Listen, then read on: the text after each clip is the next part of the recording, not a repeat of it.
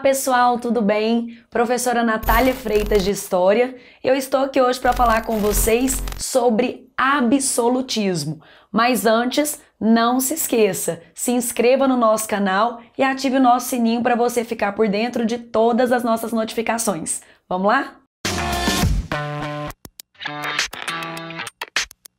Então, pessoal, o absolutismo, ele foi uma forma de governo muito comum que existiu na Europa entre os séculos 16 e 19. E o ápice do absolutismo foi com certeza durante a Idade Moderna. É importante a gente lembrar desde já esse início da aula que o absolutismo ele é caracterizado pelo poder absoluto nas mãos do monarca, ou seja, nas mãos do rei. É o rei que tem o controle absoluto da nação. As principais características do absolutismo são, anota aí, poder centralizado nas mãos dos monarcas. Poder centralizado nas mãos dos monarcas. Segunda característica: o monarca, o rei, ele pode interferir em assuntos religiosos.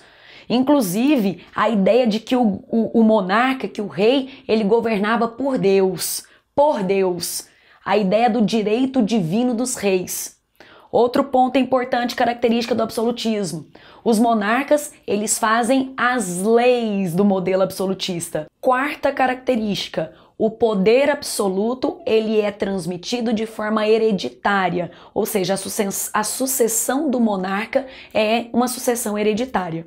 E por fim, o modelo econômico que marcou o absolutismo foi o modelo mercantilista. Bom, então a gente começou a entender quais eram as características absolutistas e o que que marcou o absolutismo europeu. Mas antes da gente continuar a entender o absolutismo, é importante a gente fazer uma trajetória histórica. Como? Como foi possível um monarca, um líder nacional, centralizar poder a partir do absolutismo? Então, para fazer essa trajetória, a gente tem que voltar lá no período chamado Idade Média. Por que na Idade Média? Porque na Idade Média, o poder do rei, de certa forma, ele era limitado. Como limitado? Ele era limitado por conta de uma característica do modo de produção feudal, que é uma característica da descentralização política.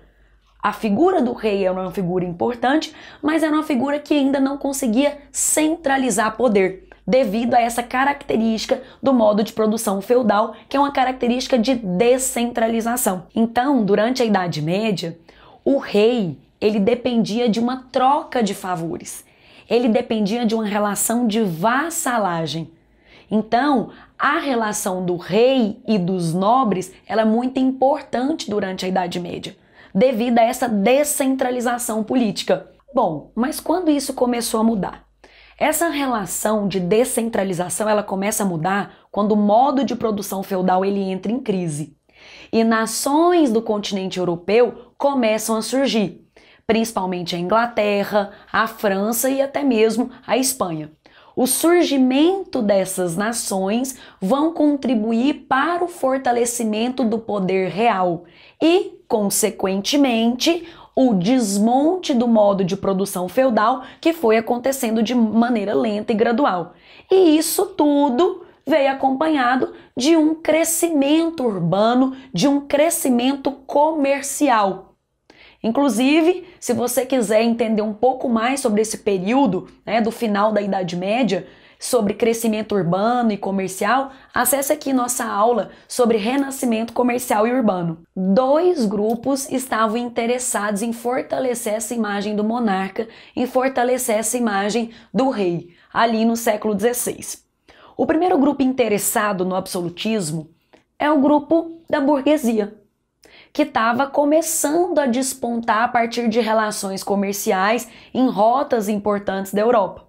O que, que essa burguesia queria com esse poder absoluto do rei? Ela queria unificar a moeda para fortalecer suas relações comerciais, ela queria estabelecer tarifas alfandegárias, tá? Ou seja, o interesse da burguesia em ter, um, em ter um rei forte, em ter um rei absoluto, era com certeza fortalecer suas relações comerciais. Um segundo grupo que estava interessado nessa centralização absolutista era a própria nobreza. A nobreza que queria garantir a posse e a segurança de suas terras, a partir de um reinado forte e absoluto. Dessa forma, o poder concentrado na mão do rei fazia com que ele tivesse funções muito importantes em uma nação.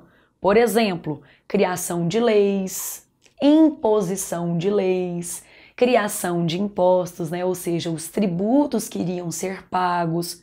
Ele também tinha uma função muito importante de proteger o seu reino de ataques e invasões. Para que o rei conseguisse agir de forma eficiente, foi montada toda uma estrutura administrativa para poder atender esta demanda real, para poder atender o que aquele reino precisava naquele momento. Os principais teóricos absolutistas é Jean Baudin, Jacques Bossuet e Thomas Hobbes.